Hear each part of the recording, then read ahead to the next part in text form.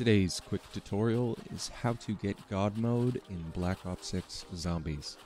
First thing you'll want to do is head over to Lily's flower pot and pick up the water valve from our last tutorial. Go to the bowling alley and start building water pressure. And this whole glitch relies upon getting stuck in the water pressure restart animation. Now you might have to do this a few times, so just be patient. Let's start the water pressure, set a ping to help you so you can see it on your map, and head outside.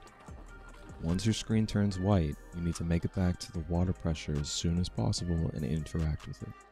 You'll know the glitch has worked if your screen looks like the brightness has been turned up a little bit.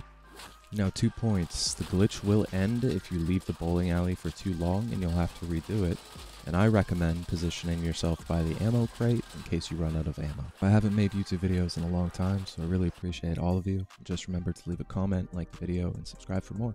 Thank you.